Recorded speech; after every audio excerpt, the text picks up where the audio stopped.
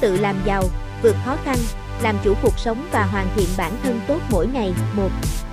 Xác định mục tiêu cụ thể, để trở nên giàu có và vượt qua khó khăn, bạn cần xác định rõ ràng mục tiêu của mình.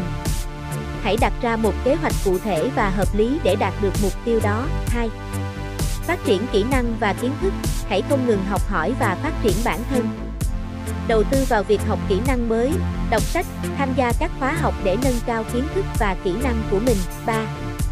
Lập kế hoạch tài chính, hãy lập kế hoạch tài chính cẩn thận để quản lý và đầu tư tiền bạc một cách thông minh. Hãy tiết kiệm và đầu tư vào các cơ hội sinh lời lâu dài. 4. Xây dựng mạng lưới quan hệ, mạng lưới quan hệ đóng vai trò quan trọng trong việc vươn lên thành công.